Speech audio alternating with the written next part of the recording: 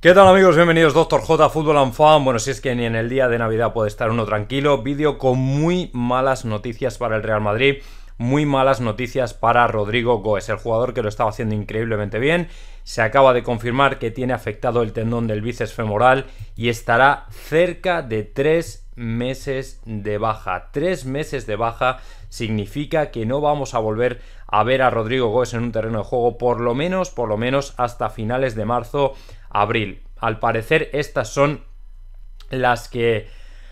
Eh, las... Em, el pronóstico que ha sacado el Real Madrid, lo estoy leyendo ahora mismo en el diario Marca. Eh, y no pone muchos más detalles, pero claro, esto es. Esto es un golpe horrible. O sea, el, el del parte médico oficial del club. ¿eh? O sea, tres meses de baja Rodrigo Goes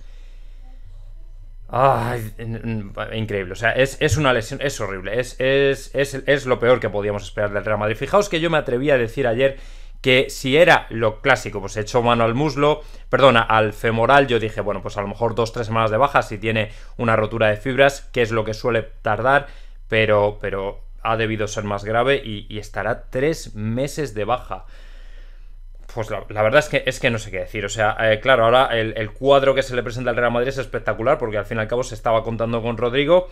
Pues ahora me imagino que será el turno de Asensio y Vinicius hasta que se recupere Hazard. Eh, irán alternando por la banda izquierda, puesto que la derecha imagino que quedará para Lucas Vázquez. Pero en cualquier caso, pues hombre, mandarle todos los ánimos a, Rodrigo porque tiene que estar hecho polvo. O sea, tres meses de baja es muchísimo tiempo. O sea, es, una pasada.